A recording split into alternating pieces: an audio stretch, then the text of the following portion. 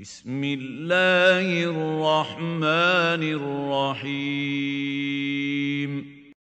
أخوة الإسلام.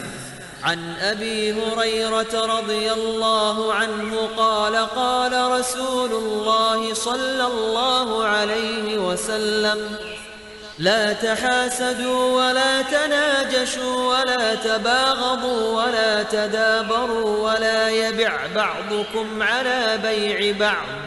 وكونوا عباد الله إخوانا.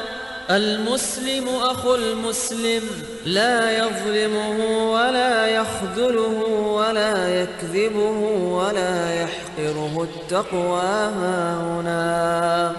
ويشير إلى صدره ثلاث مرات بحسب امرئ من الشر أن يحقر أخاه المسلم. كل المسلم على المسلم حرام دمه وماله وعرضه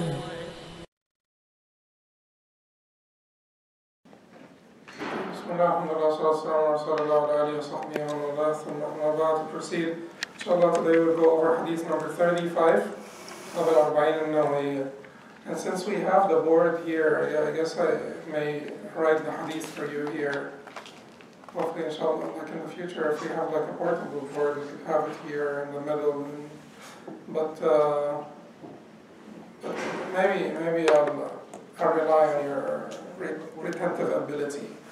Um, so this hadith is reported by Imam Muslim, rahimahullah, from Abi Hurairah anhu, and, and it is reported by, by others as well. It is reported by Bukhari, it is reported by Tirmidhi, it is reported by Ahmad from Nasir ibn al-Asqa, it's reported by Tirmidhi from Abi Hurairah, it is reported also from Abi Bakr Siddiq radiallahu anhu in Musnad Imam Ahmad, it is reported from Anas uh, by Bukhari and Muslim, it is reported from uh, other companions as well. So Anas reported it, Abu Bakr reported it, Abu Hurairah reported it, Ibn Umar radiallahu anhu reported it.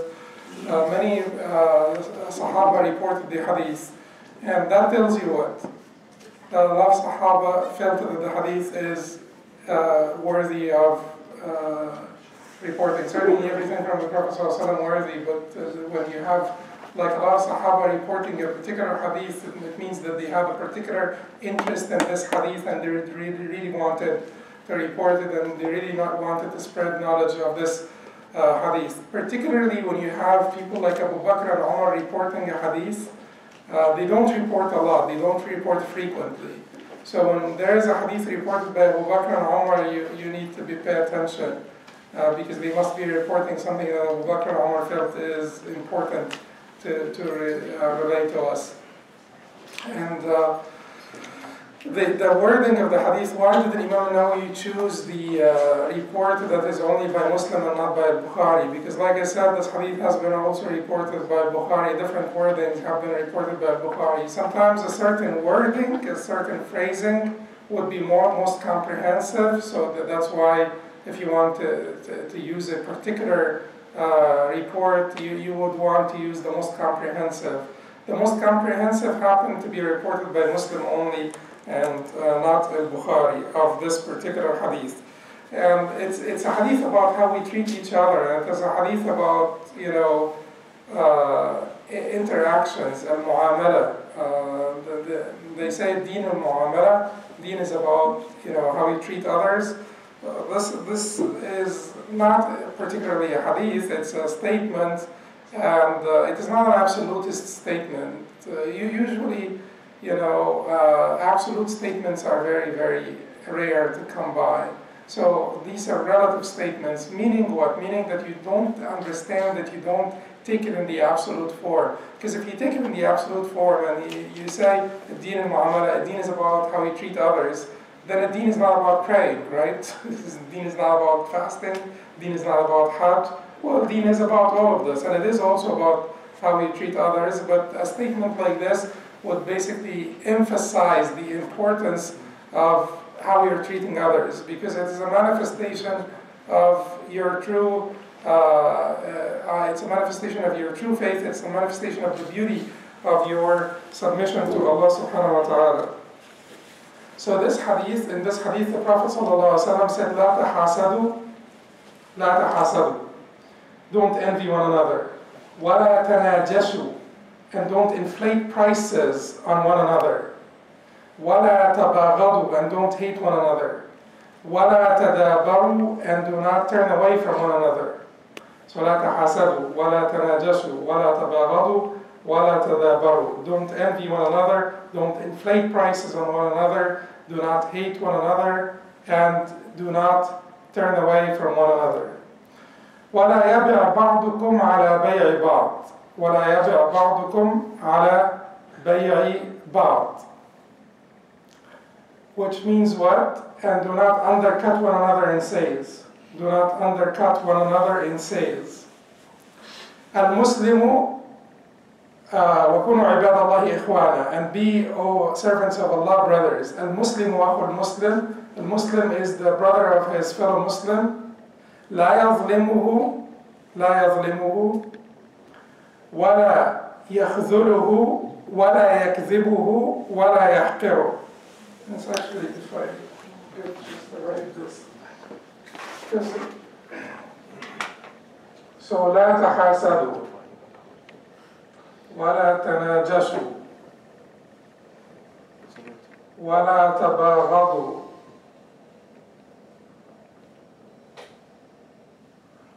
ولا تدابروا. So hasad is envy. Do not envy one another. Tanajashu inflate prices, and we will come to ex- the explanation of this. ولا تباغضوا hate.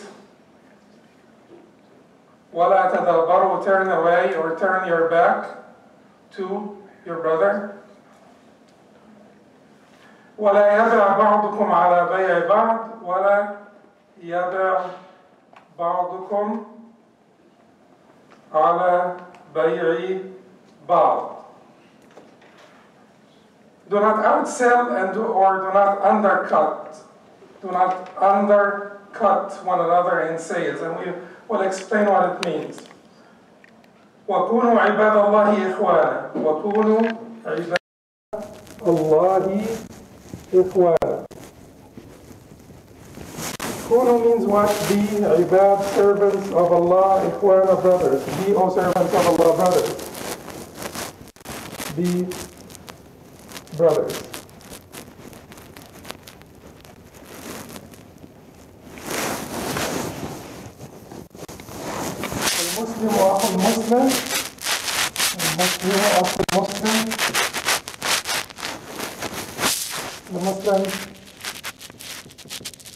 brother of his fellow Muslim.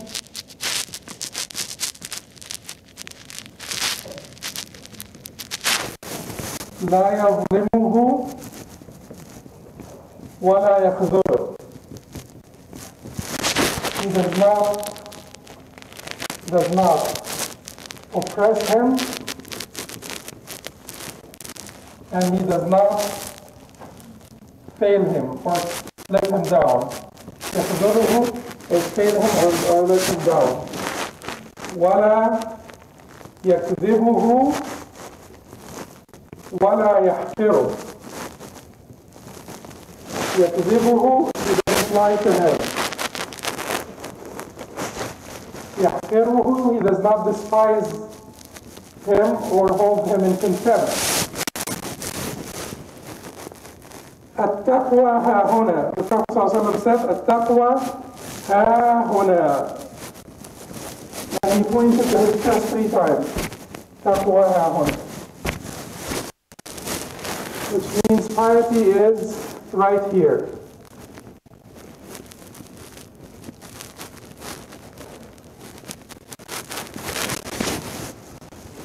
بحسب المرء من الإثم أن يحقر أخاه المسلم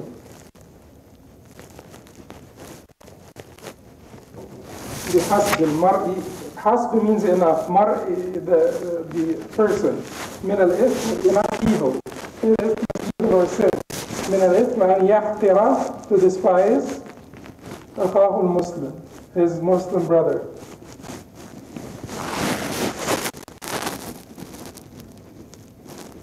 enough evil to despise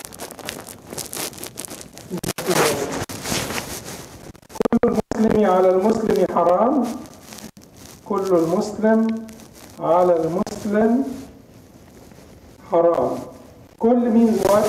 means all, entirety, whole, the whole of a Muslim, entirety of a Muslim, all of the Muslim, على المسلم, for the Muslim, or to the Muslim, his fellow Muslim.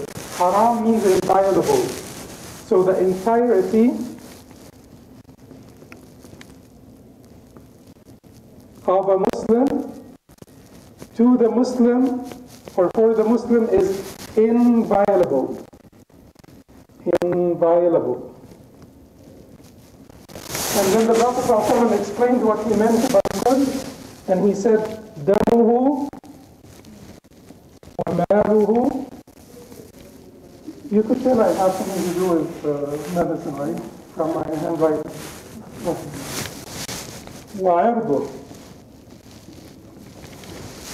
his blood, his property, and his honor. Blood, property, and honor.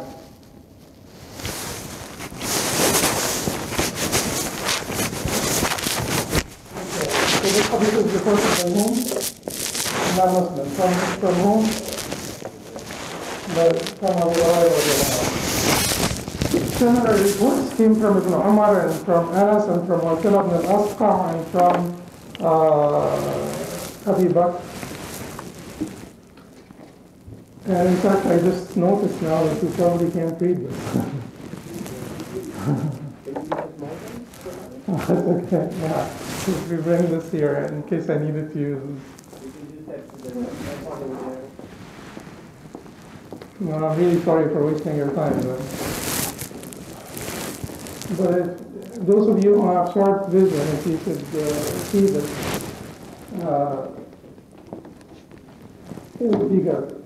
Now, before we begin, someone may say all of this hadith is about the Muslim and his fellow Muslim and his brother and so on and so forth, which does not mean that for a non-Muslim uh, none of this applies.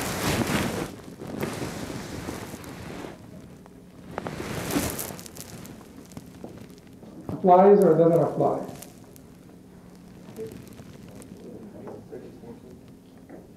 Okay, so, so there is an area, there, there is an area where it certainly applies, an area where it certainly does not apply, and an area which is controversial. Where is the area that it certainly applies according to all of the scholars by agreement, consensus.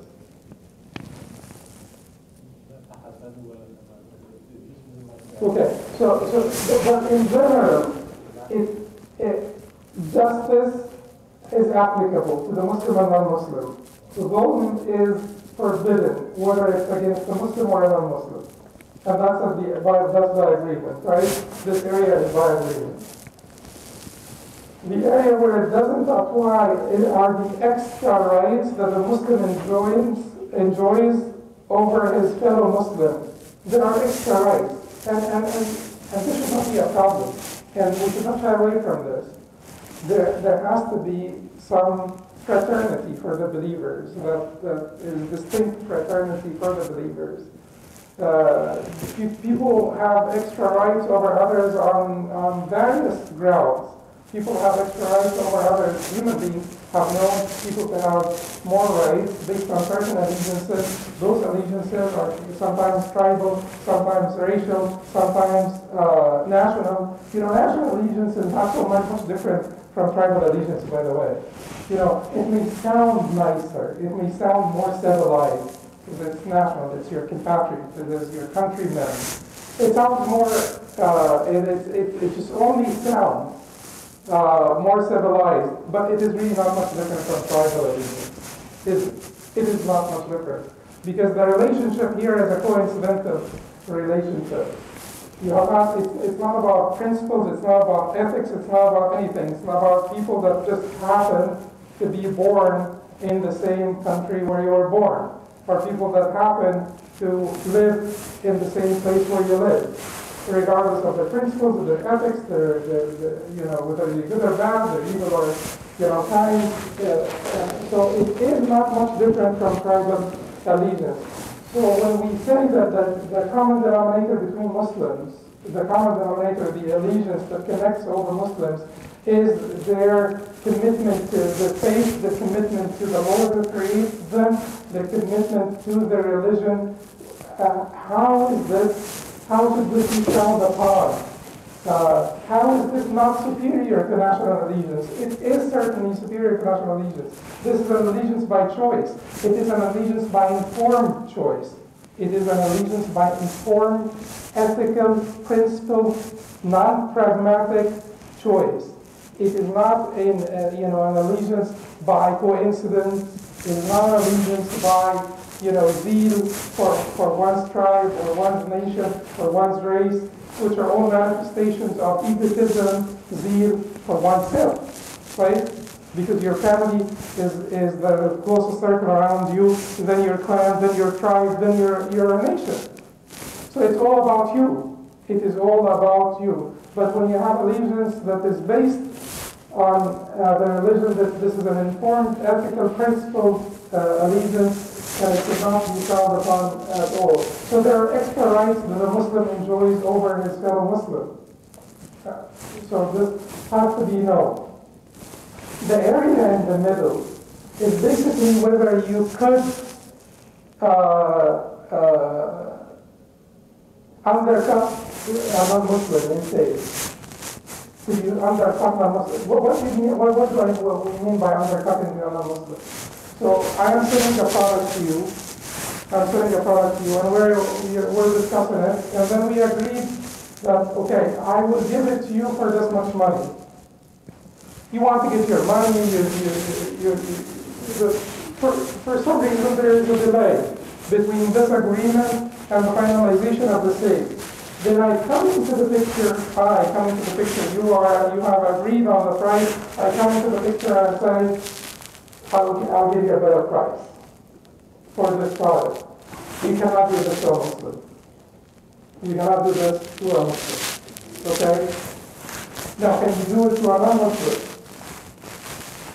Here is what it, here is what it is controversial. So Imam Awza'i, Imam Ahmad said yes. And the rest of the Imams said no uh, that these uh, say, you know, uh, interactions or transactions, the ethics of transactions will apply to Muslims and non-Muslims. You can't even undercut a, uh, a non-Muslim. So basically, we're talking about the majority of Muslims saying that you cannot even do this to a non-Muslim. All of them say you cannot do injustice to a non-Muslim. You cannot deceive, you cannot cheat. A Muslim. Certainly, you know, uh, of war is a completely different story. The conditions of war are completely different. And what happens during war is a completely different set of rules and sets. We're, we're talking about peaceful non-Muslims. We're talking about non-Muslims that are uh, that, that live with, with us in peace or have uh, peace or we live with them in peace like our condition. We live with them in peace, they live with us in peace. Uh, but peaceful non-Muslims is, is what we're talking about. So the majority of the Muslim scholars said that this is applicable also to non-Muslims. So everything in this hadith will be applicable uh, to non-Muslim except when it is an extra, you know, uh, and the reason why the Prophet ﷺ said the Muslim, and he said in, in the other reports, like, you know,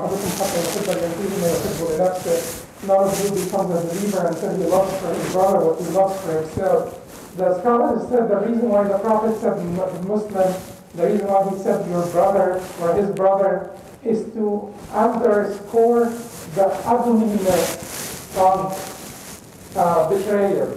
Because he's saying your brother your fellow Muslim. It is to, to, basically highlight the ugliness of your, your uh, of, of those uh, low ethics. Uh, but it does not mean that you can uh, do this to the non-Muslim, or that this is only limited to the non-Muslim. Remember when we talked about لا يؤمن أحدكم حتى يحب لأخيه ما يحب لنفسه, and we said that there are variations, and there are hadith, and there are reports, and there is even a report from Muslims, radiallahu anhu, that use the word, the word الناس, not أخيه, but the الناس. وحتى يأتي للناس ما يحب أن يؤتى إليه. None of you will have belief until he treats the people the way the people, not just the Muslim or not just his brother, the way he likes to be treated. The way he likes to be treated. So, Yes, some of the hadith mentioned the Muslim and mentioned his brother, but some of the hadith of well, which is the golden principle. Like, you know, Hadith none of you will believe until he loves for his brother what he loves for himself. Is his brother here his Muslim brother? Even if it is his Muslim brother, there are other hadith that said and mass, which means form of the people. So none of you will have faith until he loves for the people he loves for himself, until he treats the people the way he likes to be treated. Until he treats the people the way he likes to be treated. Then in this case, we will say that we have three different sets of rules. When it comes to justice and injustice, this applies to everybody by consensus. When it comes to the extra rights that you will have to extend to the Muslim, which is basically graciousness, not just justice, more you know graciousness. You, you have to you have to visit him if he's sick. You have you have to visit him if he's sick. You have to follow his funeral. You have to do these things. These are religious obligations towards the Muslim, حقوق المسلمين, the, the rights of the Muslimin. Those rights are not automatically extended to non-Muslims. And that is by agreement. Yes, you may visit them if they are sick, but we're, we're talking about here the obligation. It is not a haq, it is not a right that if you fall short of, then you have committed uh, like an error. Uh, but certainly, if you extend kindness to, to, to other people, that visit the sick, and you know, yeah, go extend condolences to the family if they die, and so on and so forth, that is fine. But as rights, these are rights of the Muslim. When he says salam alaikum, you have to say alaikum. When he sneezes, you have to, you know, to submit to or you have to, to, to, to, pray for him. Uh, when you, these are called what? Al-Muslimin. So those are those belong to the. And then you have the large area in the middle, which is basically uh, uh, like certain uh, ethics that pertain to transactions uh, where there is some controversy. Where we're not talking about justice and injustice, as we said, but emphasize this is a matter of consensus. We're talking about you know, going to someone in, in, in the example that I gave, two people agreed on a sale, and then you undercut out, uh, you, you, try to do something uh, to basically uh, win that uh, sale or transaction. Uh, and, and, and that would, according to the majority, that would not even be permissible with non-Muslims. Okay. So that was what was like an important clarification in the beginning. Now, la tahasadu, do not envy one another. What is your hasad? Your hasad is basically when you wish that what your brother has, that you wish that you have what he has. You wish that you have that what he has. Now, there are various degrees of this. Various degrees of this. One degree is that when you wish, you know, what and there are basically two different sets of positions. Worldly positions and religious positions. If you wish to have what your brother has in terms of piety, in terms of his commitment, he has this khushua and salah, and you look at him and you, you say, I wish I had like uh, his khushua. You know, he has knowledge, but it's not knowledge that he's both, you know, bragging about, but he's uh, shown how it is knowledge that he's actually utilizing, that he's using, that he's benefiting from. So if you have the Quran, for instance, and he recites it day and night, that is something that you should wish for yourself. In fact, it is reported by Bukhari, a Muslim from Abdullah bin Mas'ud, that the Prophet said, La hasada illa fitnatayn. There is no hasad that is legitimate, that is praiseworthy, envy that is praiseworthy. Here it does not mean envy in the negative sense, uh, but it means wishing to have what your brother has, what others have, except regarding two matters, illa fitnatayn. رجل آتاه الله مالا فهو ينفق منه آناء الليل والنهار. A man with whom Allah, Allah, Allah with whom Allah blessed with, uh, or whom Allah blessed with uh, money or wealth, and he spends of it day and night. He spends of it day and night. Spends of it in the path, in the sa- path of Allah, and fi sabilillah. He's spending of his money. He has like a, a huge wealth, and keeps spending of his uh, wealth. You know Hakeem Olajuwon, the the basketball player. If you go to Texas, you go to the IDC, Dawah Center Texas. It, it is a huge building. It was like a huge uh, historical bank in the middle of uh, downtown uh, uh, Houston. Uh, and, and then he, he bought it and he, you know, made it a masjid. Isn't this something that is enviable? Like you wish that you have the money that he had so that you could do what, what he did is like, it's so beautiful. He, just like one man, it's like a one-man show. You see how much, how much he suffered to build a masjid anywhere and like, you know, and different drives and different tactics and, you know, you know, reach the and stuff like that, selling, you know, pieces of, anyway.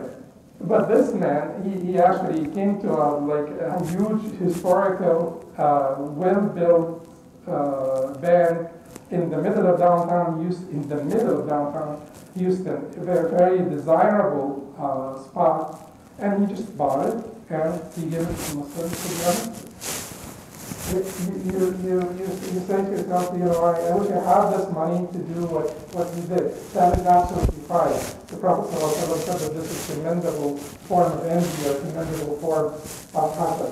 لا حسد إلا في اثنتين رجل آتاه الله مالا a man to whom Allah gave money or wealth and he spends all it day and night كان عليه والنهار ورجل آتاه الله القرآن فهو يقرأه أناء الليل والنهار. And a man that Allah had uh, blessed with the Quran, so he, he uh, helps him memorize the Quran. So he was trying to change the Quran day and night.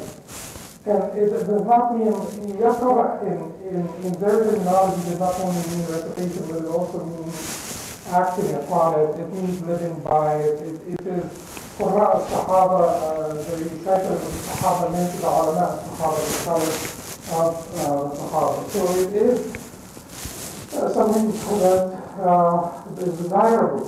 So what hasad uh, in, in religious matters, in religious matters, keep in mind that hasad in religious matters, you would never, uh, unless you're completely perverted, right? you have like your your your your have like a problem up here you would never wish to have it uh, move, you know, to take it away from your brother, right? Why? Because Fadlullahi wasa, you know, Allah's virtue, Allah's bounty is boundless, is infinite. Resources in this world are finite, so we always feel discontentedness about resources in this world. So the money has to be with you or me. You know, but when it comes to the of Allah, when it comes to the blessings of Allah, when it comes to the Qur- you know, the Quran, Fadlullah wasa, it's infinite. So you could you could have it and he could keep it. And therefore it is not necessarily hasad that is negative. I want it. I want I want to have it. Take it from him. Yes, the Surah Al-Araj and how some prophets are in higher stations than others. Uh, Wouldn't one want to desire to be in a higher station, or the highest station they can possibly be? And then that would make his brother in a lower station perhaps, if he desires it, or with. Yeah, but, but but eventually, what, when you ask Allah subhanahu wa ta'ala to increase your rankings, you're not asking Allah subhanahu wa ta'ala to put you on top of someone in particular, but you just ask Allah to generally uh, raise your rankings. And don't worry, you're not getting anywhere there. you're not going to compete with the Prophet. With people is subject to this great sin.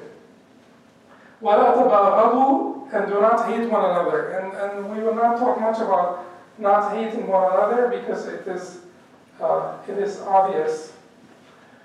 Uh, وَلَا تَدَابَرُوا لَا تَدَابَرُوا means what? Do not turn away from one another, do not give your back. Dubur is the back. So it is the rear end. So giving your back to your brother means do not shun, do not boycott, do not cut off your brother, do not give your back to your brother, turn away, turn your back, all of this. Uh, Al-Hajj, Al-Hajj. Abu Dawood reported from Abi Kharash radiallahu anhu he, that the Prophet ﷺ said, من هجر أخاه سنة فهو كسفك دم. he who cuts off his brother for a year, it is like killing him. In sin, it is like killing him. And this hadith is authentic. It is authenticated by, you know, uh, the, the majority of scholars of hadith. They, they, they authenticated this report. He who cuts off his brother for a year is like killing him. And the Prophet ﷺ said that you can't cut off your brother for, how, for, for more than Yes, for, yes, the Bukhari and Muslim reported from Abi Ayyub that the Prophet ﷺ said uh, that it is not permissible to, boycott, to boycott or cut off or shun your brother for more than three days. يلتقيان فيعرض هذا ويعرض هذا وخيرهما الذي يبدأ بالسلام. When they meet, one each one of them gives his back to his brother, and the best of them is the one who starts with the greeting of salam, is the one who gives salam first. I'll come to it.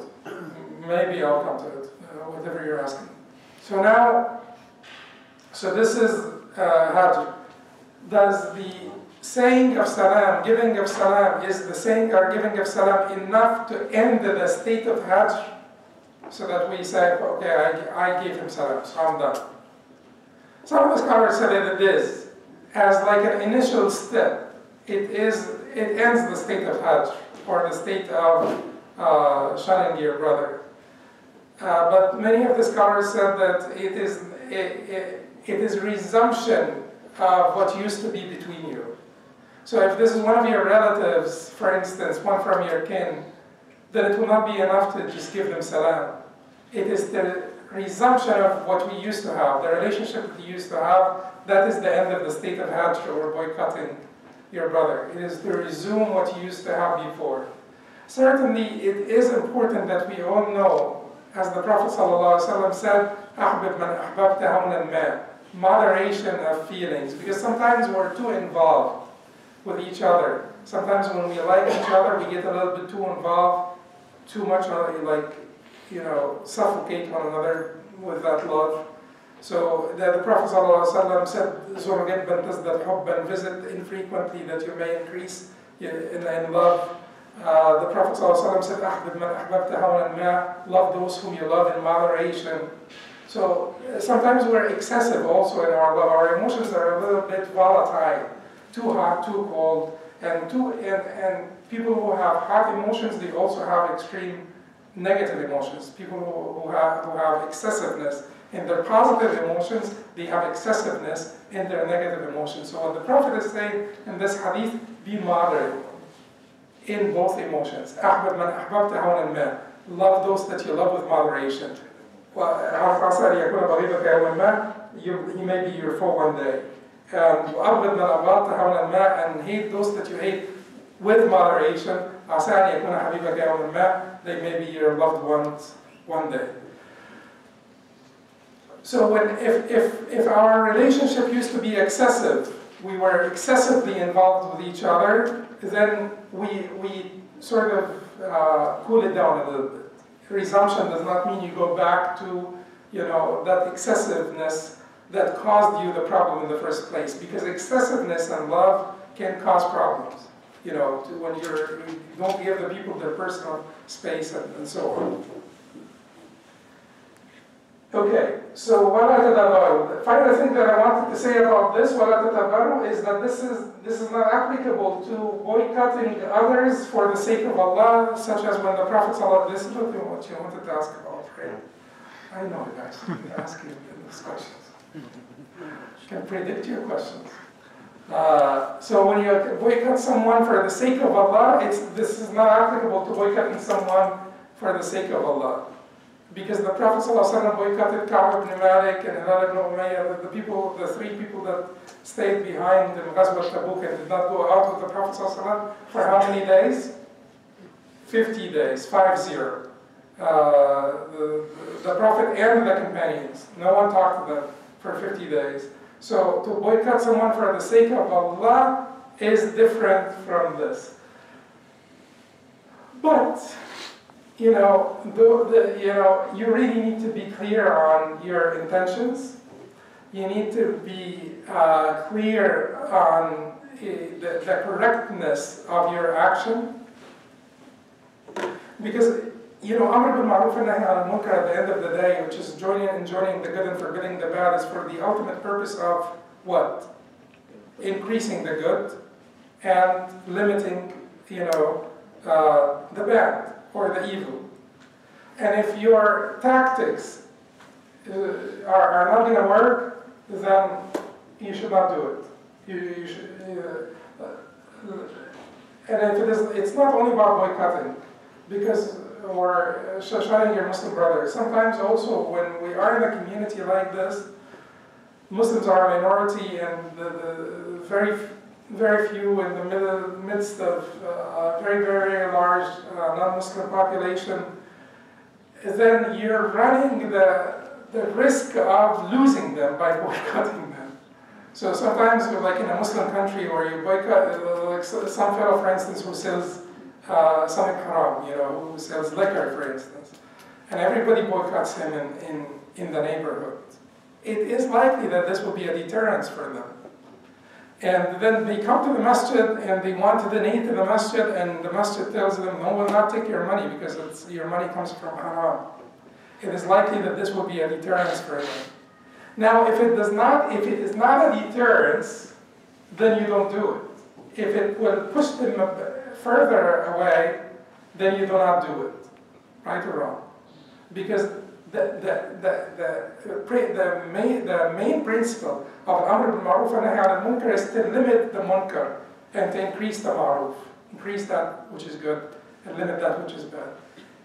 If the, your technique is proving to, to do the opposite, then you change your technique because that is the main purpose of Amr bil Ma'ruf and Nahy al Munkar. which means do not undercut one another and say. Now, when does it become?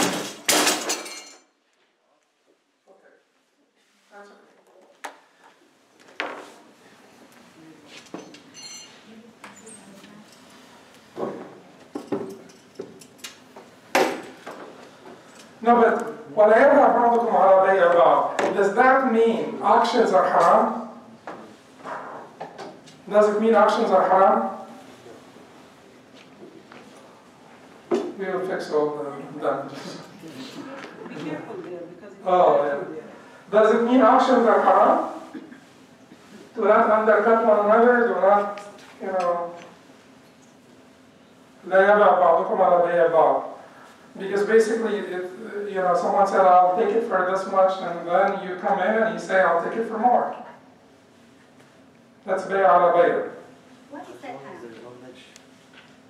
Is this the business sense? And is it at that time people can come and say it's monopoly? Somebody no, I'm I didn't say it's haram. I'm asking, is it haram? but you established that it is haram. No, I'm not saying. No. I'm saying why. Why? No, it is not. Actions are not haram. Yet, does not mean that actions are haram. It means that when we settle the agreement, I accept it, but in actions it is clear that the seller had not accepted until he gets the final price. So the actions are not haram. And the Prophet ﷺ, he, he sold something in auction. So it, auctions are not per se haram. But when, when I, and you're saying, why is this haram? When, uh, when we agree and then you come in the middle and you, you offer more, it is haram because it will hurt my feelings. Because I, I became, you know, expectant of having this property. You know, it's a piece of furniture I like. I reached an agreement with the seller, and then you came and you took it away from me. You offered more money and you took it away from me. How could, how could that not hurt my feelings? And this is all about not hurting feelings. This hadith is all about not hurting feelings. That is why, because, because you see, you said this because it does not seem to be injustice. That is why some of the scholars said you could do this to a non-Muslim. Because it is not injustice. So to come in, you know, after we had agreed, but the sale is not finalized. I did not pay the price, but we had agreed to come in and take that, you know, uh, uh, item from me, merchandise from me. It hurts my feeling, but it is not injustice to me. So that is why the scholars said, some of the, some of the scholars said you could do it with non-Muslims. The majority said you still should not do it, even with non-Muslims, because it hurts people's feelings. That's, uh, Hmm? There's a respect for the word then, you know.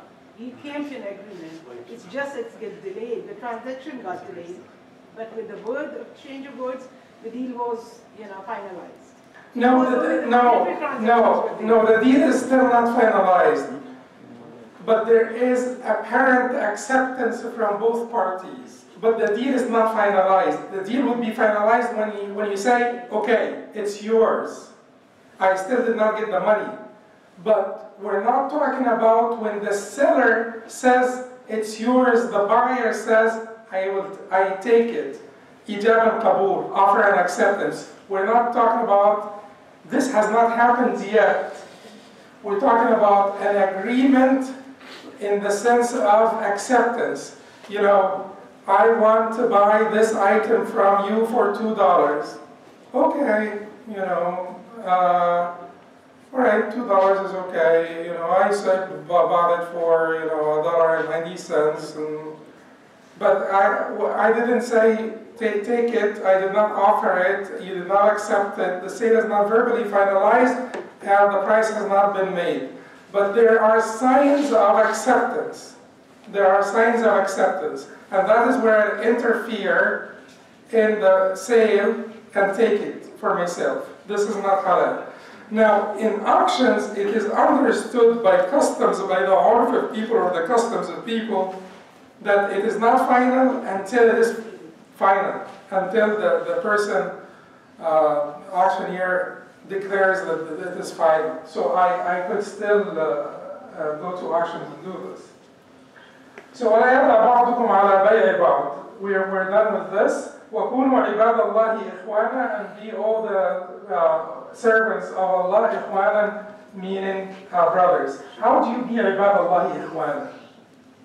How do you be عباد الله إخوانا?